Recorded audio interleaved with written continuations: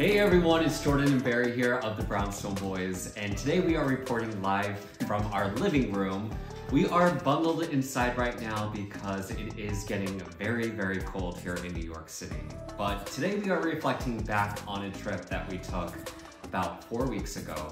And it was a very special trip because it was my birthday. We planned many days, many months on the perfect birthday trip. And when I say we, I really meant Barry. It was me. It, and it was amazing. It was the absolute perfect spot. The most amazing house with the most amazing views and good food and good people. Well, we are in the home space. We love good design and we love good home.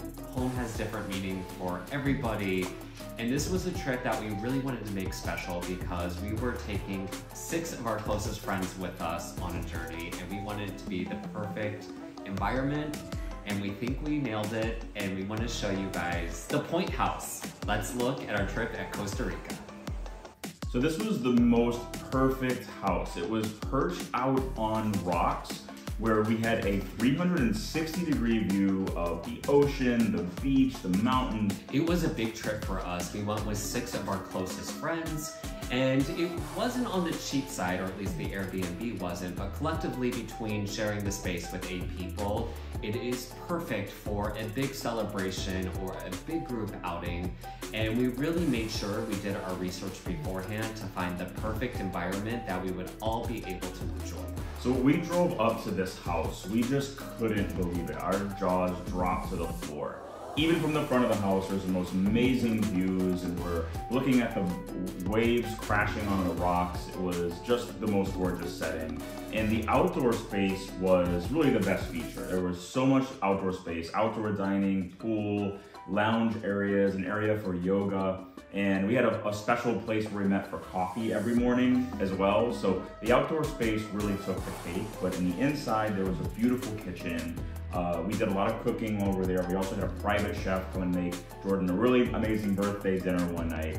Uh, but it was just the perfect house for a group of four. There were four bedrooms.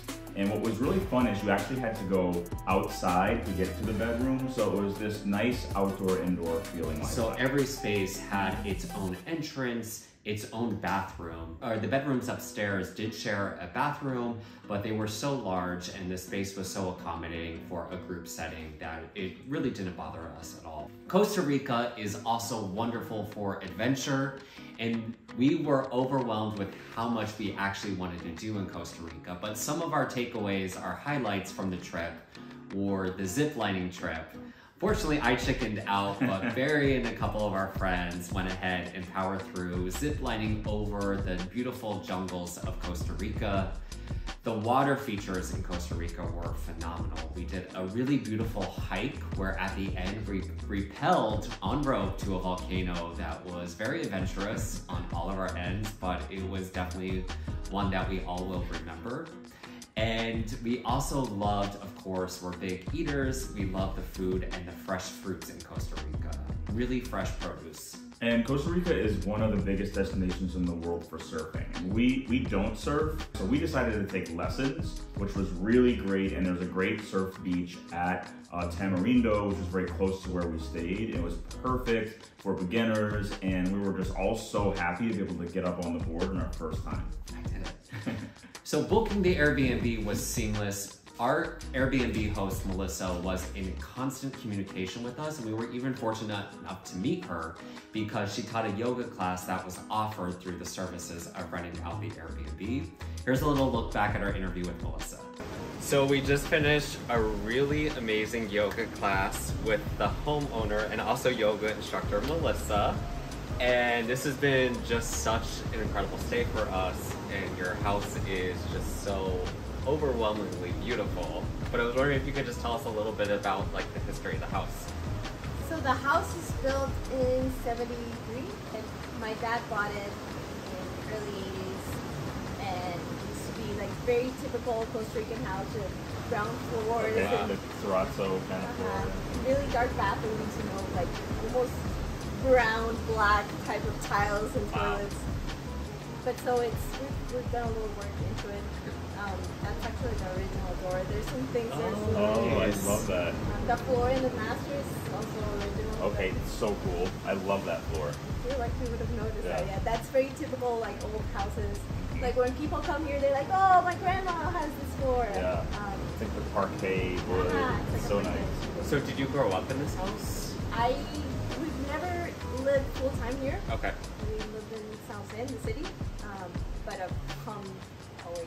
Yeah. Yeah. And when is the best time of year for tourists or visitors to come and stay at this beautiful house? My favorite time of the year is January Okay. Okay. because it's breeze. I love the breeze. For some people, it's too much. It gets so windy that sometimes you can't really like even sit outside. Wow. But I do like like stuff gets blown out. Oh. Your clothes are in the ocean. Uh, but I do. Oh I love goodness. it. It's sunny. It's breezy. Um, it's not not that super super dry hot yet. Like March and April. It's the end of the rainy season, and we've been really lucky, fortunate with the weather here. It's been really incredible. But today's our last day, unfortunately, and just thinking about this house and just memories that we created here just in this one week of being here. What is your one favorite thing about this house? The sunsets. Is that too Yes. generic? No, But it it's is. so true. We watch the sunset every single day. Yeah. Every single day we've been in that pool around the pool and it's just the perfect position to watch the sunset. It's true, and it's like uninterrupted. Some people in this houses, because the sun shifts a little through the year, like our house blocks the Right. sunset. Yeah. You get like uninterrupted. And Yes. there's it's like a thing here. It's like sunset time. Everybody stops everything and goes to the Yes. Yeah. Yeah. True. Well, awesome. the for us. Yeah, thank you so much for your hospitality. You're such an amazing Airbnb host, too. Looking back on this is so hard since it's freezing in New York right now, but we loved it and we're so glad we went down there because I feel like we found a place that we're gonna just return to again and again. Yeah, the memories we created were one for a lifetime. I'm looking forward to looking back on this video and reminiscing of our trip. And you really should book a trip for yourselves, and we highly recommend the Point House in Costa Rica. Subscribe to our channel below, and we'll see you on the next one. Bye, everyone.